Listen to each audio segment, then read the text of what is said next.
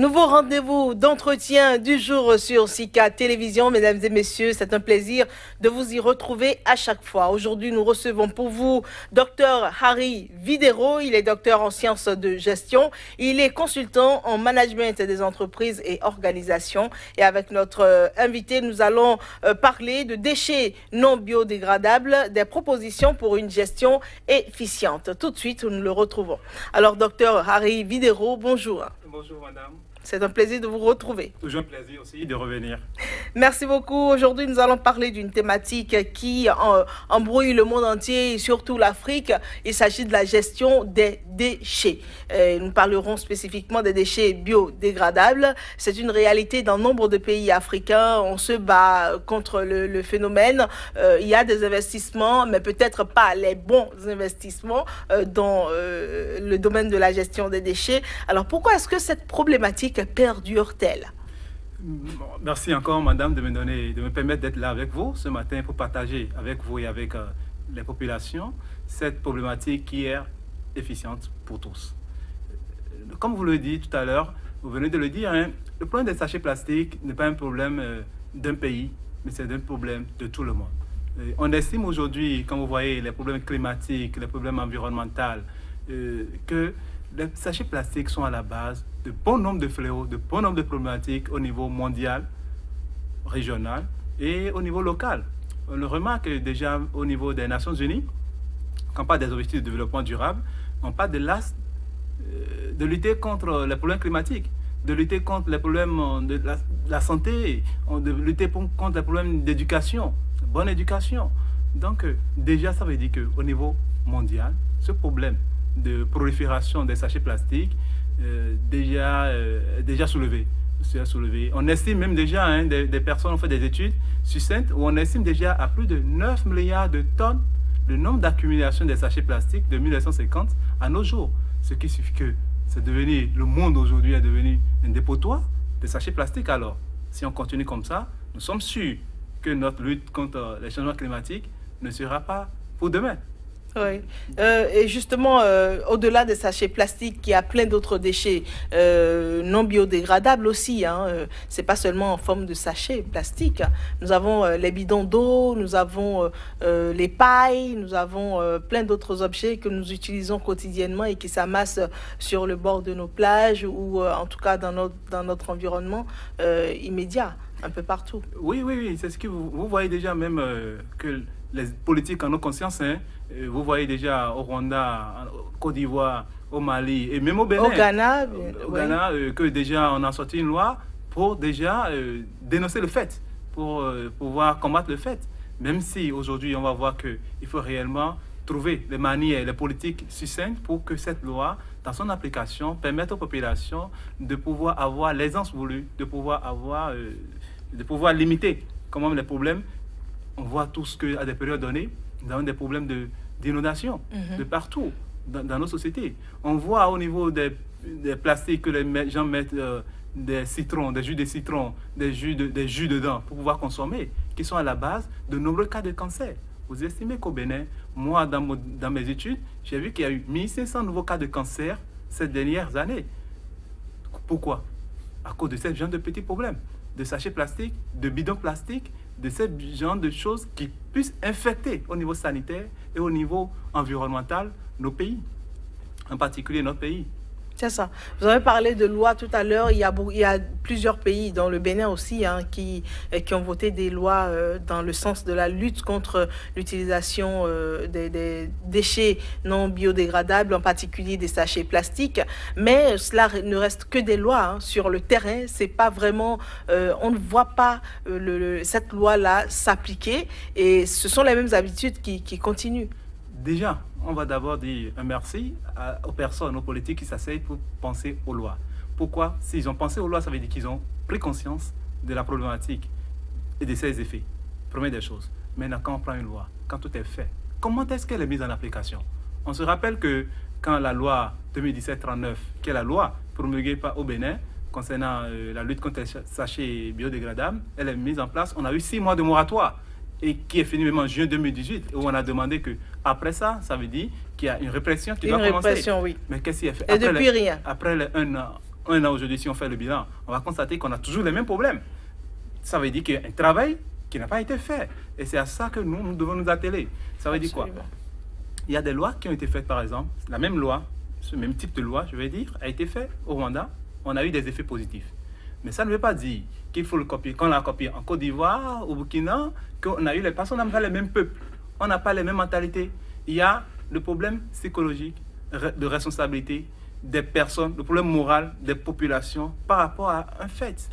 Vous imaginez, moi, j'ai essayé de faire une étude sur le terrain, de savoir pourquoi est-ce que les personnes n'adoptent pas les comportements écologiques vis-à-vis des sachets plastiques. Mais j'ai été surpris. Premier fait, on a constaté qu'il y a des personnes qui savent bien que les sachets plastiques sont nuisibles pour la santé, mais volontairement achètent encore dans les sachets plastiques. Ça dit quoi? On ne veut pas aller vers ce fait, mais volontairement le fait. C'est pour ça qu'on parle souvent d'une idée d'aliénation. Ça dit c'est un problème moral, psychologique. Donc il faut travailler sur ces faits. Il y a des personnes qui utilisent des sachets plastiques, même biodégradables, mais à la fin n'ont pas de comportement écologique. C'est-à-dire les jettent juste n'importe où, à la base de des problèmes au niveau environnemental. Donc ça veut dire qu'on continue toujours d'avoir les mêmes problématiques. On a des personnes aujourd'hui, quand je prends au marché, dans pas notre grand marché, où on demande faites-nous la différence entre les sachets biodégradables ou non. C'est toute une confusion. C'est toute une confusion. Mhm.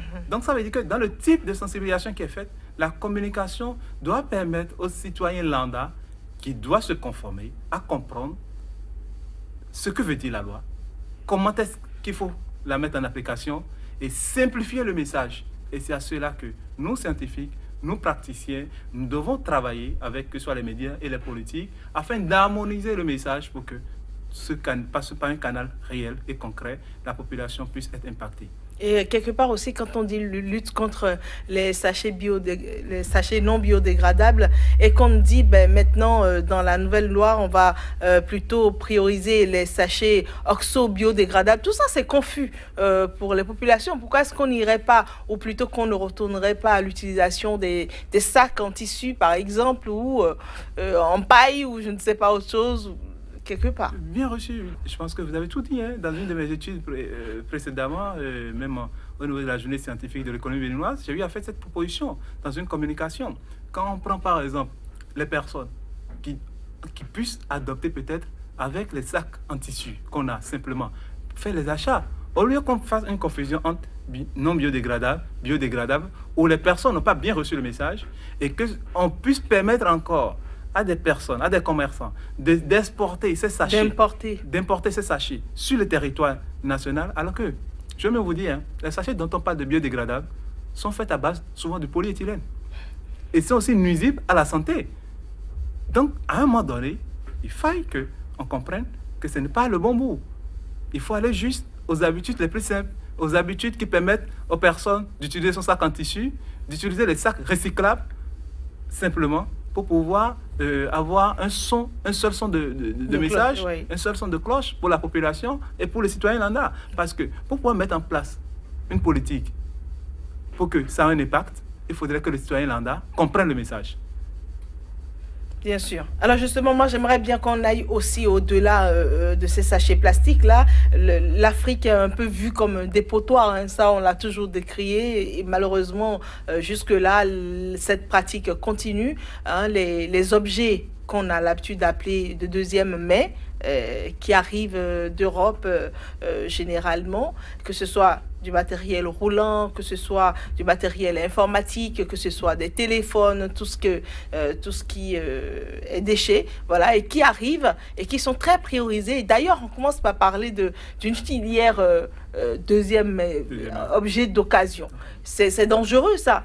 Parce que tout ça, c'est difficile à gérer après parce que ben, c'est des déchets déjà ailleurs qui arrivent ici et qui sont un luxe euh, pour nous. Et finalement, où est-ce qu'on les déverse, tous ces déchets-là? Je pense que c'est vrai. Hein. Je pense que c'est vrai. Aujourd'hui, vous voyez déjà même le cas au Ghana, où on a fait une étude sur une ville où on avait l'habitude d'amener les objets de deuxième main, pas des conteneurs, où on a vu que le taux de cancer était énorme, surtout pas les objets électroniques. Et aujourd'hui, permettre, un pays qui permet, alors que ces objets de deuxième main puissent venir et deviennent réellement, euh, même les choses sur lesquelles la population court, adopte, ça veut dire qu'on doit avoir à côté un processus de recyclage de ces objets. Imaginez par exemple des voitures dont vous avez parlé, où on dit, après un cycle de vie en Europe de 5 ou 10 ans, nous ne voulons plus voir ces voitures, mais qu'ici, on permette réellement de les mettre en circulation.